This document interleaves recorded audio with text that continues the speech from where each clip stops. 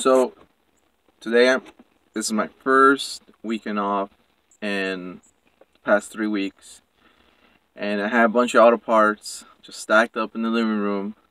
My wife is getting pissed off because I haven't installed them. But today, for Saturday off, what we're going to install today is the front sway bar bushings and the sway front bar legs for this 97 Subaru Legacy wagon. So before I started, I went to the auto parts, got prepared. Hey, I need some front sway bar uh, bushings and links. What I got was similar to this. I don't know you can tell how small those are. Let me open. This is from SuperPro. So I bought them. I started in the taking the old ones off. They're the same size right here. I ordered them online. They sent me the same ones. So I don't know if there's something wrong in their system.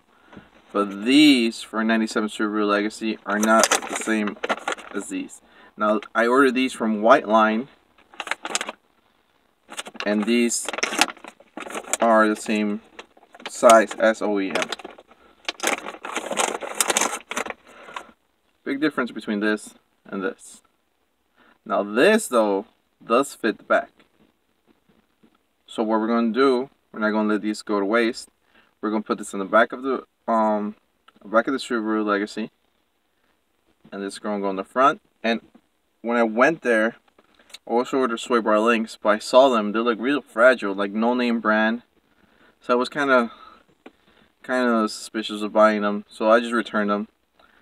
I went online, started digging. By chance, I ran by these in eBay, and they have a BF Goodrich stamp on them. I don't know if you can see it. Probably not. But it has a BF Goodrich, and there were half the price, brand new, never installed. So I have a little bit more faith in these. So this is what we're going to do today. Sway bar, front bushings, sway bar links, rear sway bar bushings. So stick around.